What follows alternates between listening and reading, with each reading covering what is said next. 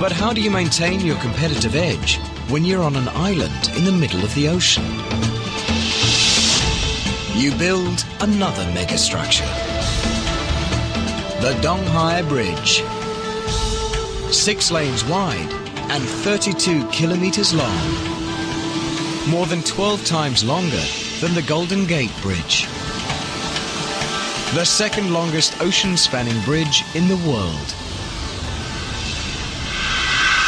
The longest is just 80 kilometers to the west, spanning Hangzhou Bay. Building a bridge this long on land would be tough.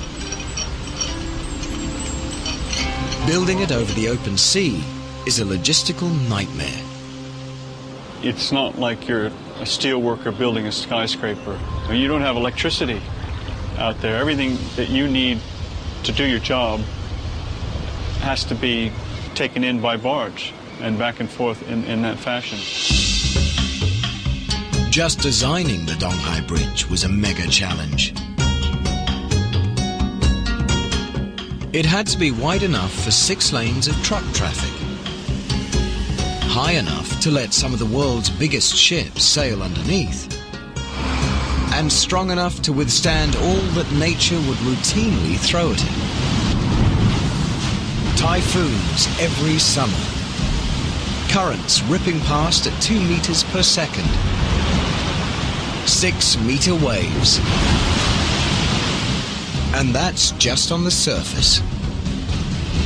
From the mainland to Yangshan Islands, the seabed can vary in depth from 10 to 30 meters.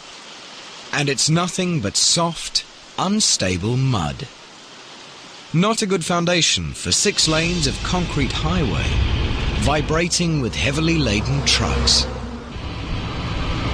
In cyberspace, engineers tested their bridge designs every way they could. With waves, winds, truck accidents, and colliding megaships to discover which design would best survive.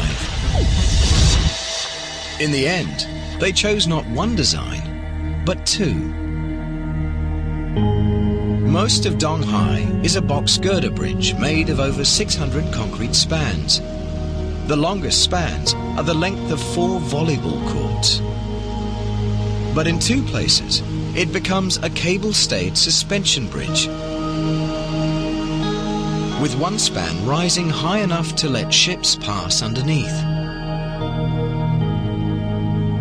And it spans the waters in a graceful S-curve so ships passing under it can sail at angles to strong ocean currents.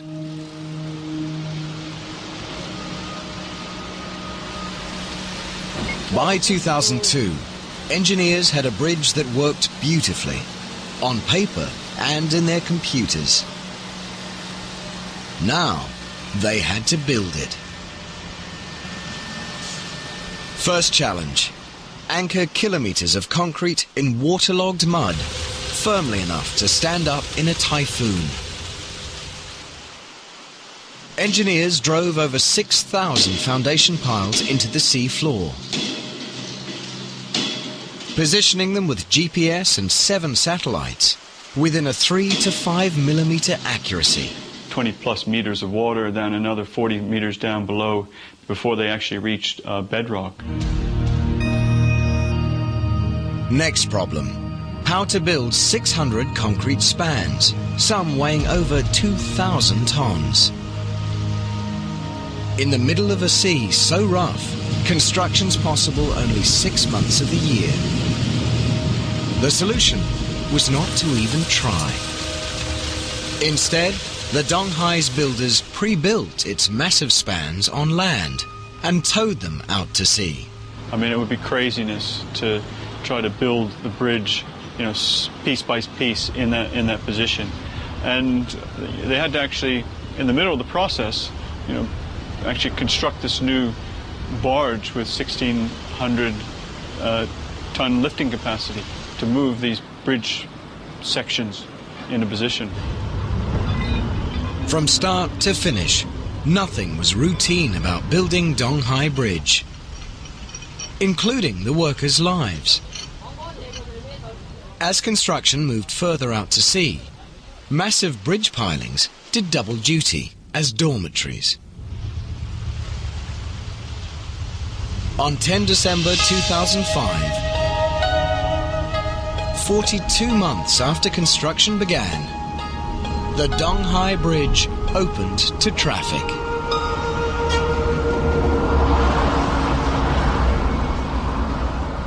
Since then, nearly 3 million containers have crossed its S-shaped span.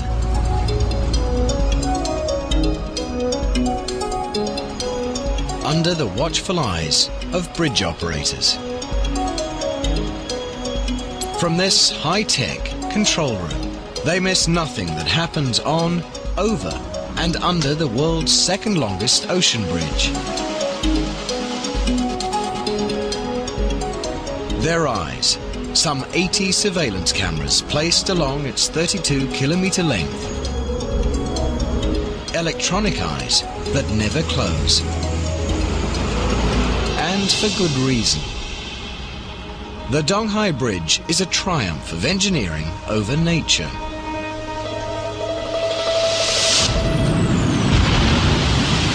But nature isn't giving in that easily. Typhoons and fog can make driving on the Donghai Bridge hazardous. In 2006, Super Typhoon Chanchu battered China with powerful waves and winds.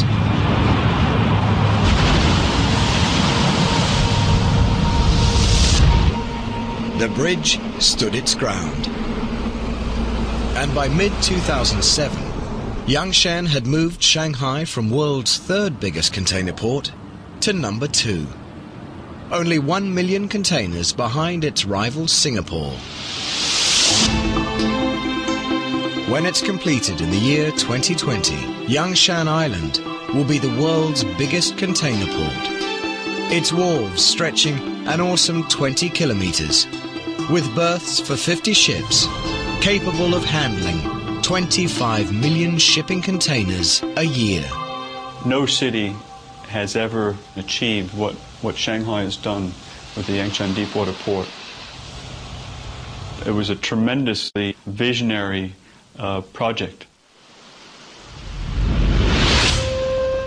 For the city fathers of Shanghai to actually create this um, over such a short time frame was tremendously far-sighted. It's a very emotional issue, I think, for everyone from the guy in the street, you know, the, to the city leadership, to the, to the country leadership. Um, they all know that, you know, Shanghai is the number one port in China, will be the largest container port in the world. And, you know, that's something that you don't see in Europe or the United States. For someone, you know, in Los Angeles versus Oakland saying, geez, we've got the biggest container port in the United States, they don't know, and they probably don't care. But here, it's something that everyone knows about, and it's something that they're intensely proud of achieving. But shipping companies are already designing even bigger container ships. Mega ships that will demand even longer docks, bigger cranes, and deeper water.